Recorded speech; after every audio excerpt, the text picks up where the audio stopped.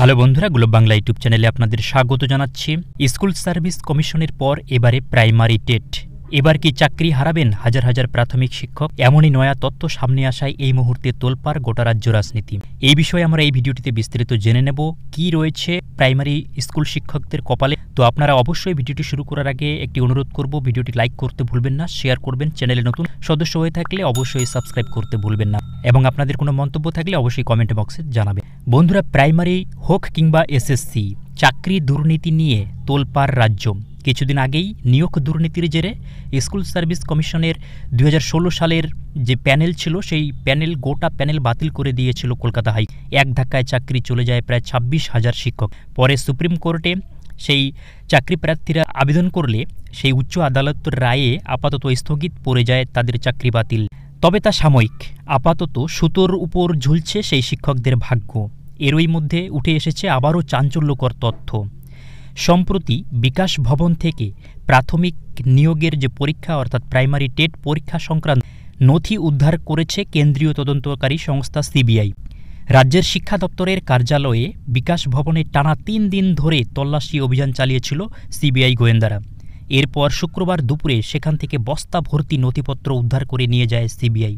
সূত্র মারফত জানা যায় যে বিকাশ ভবন থেকে প্রাথমিকে নিয়োগের পরীক্ষা টেট সংক্রান্ত জরুরি তথ্য উদ্ধার করেছে সিবিআই।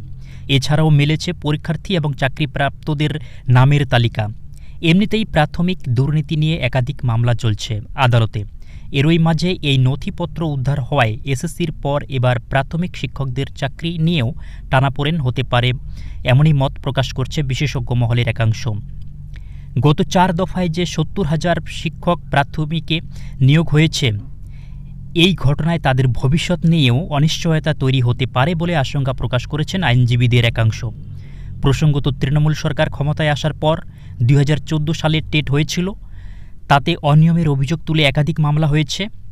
এরপর দুই হাজার চোদ্দ সালের টেট পরীক্ষার উপর ভিত্তি করে দুই হাজার ষোলো সালে, দুই হাজার কুড়ি সালে, দুই হাজার বাইশ সালে এবং দুই হাজার চব্বিশ সালে প্রাথমিক শিক্ষক পদে নিয়োগ হয়েছে এই রাজ্যে। চলতি বছর এপ্রিল মাসে কলকাতা হাইকোর্টের বিচারপতি রাজাশেখর মান্থা টেট মামলার পর্যবেক্ষণে জানান, টেট মামলার ফল যদি নেতিবাচক নেতিবাচক হলে এরপর ভিত্তি করে হওয়া সব নিয়োগ মামলা অস্তিত্ব হারাবে। প্রাথমিকে দুই হাজার সতেরো সালের টেট পরীক্ষার দীর্ঘ পাঁচ বছর পর দু হাজার বাইশ সালে হয়েছে টেট পরীক্ষা। যে সমস্ত চাকরি প্রার্থী এই টেট পরীক্ষায় উত্তীর্ণ হয়েছেন, তারা দুই বছর ধরে বিক্ষোভ আন্দোলন করছেন, যেন ইন্টারভিউর নোটিফিকেশন দেয়। পর্ষদ সবসময় বিভিন্ন অজুহাত দেখিয়ে চাকরি প্রার্থীদের আশ্বস্ত করছেন ইন্টারভিউ হবে বলে।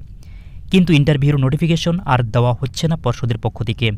এদিকে অনেকেরই বয়স পেরিয়ে যাচ্ছে, বেকারত্বের জ্বালায় পড়ছে লক্ষ লক্ষ চাকরি প্রার্থী। এই সরকারকে মাথানত করার একটাই উপায় আন্দোলন, নিজেদের দাবি আদায়।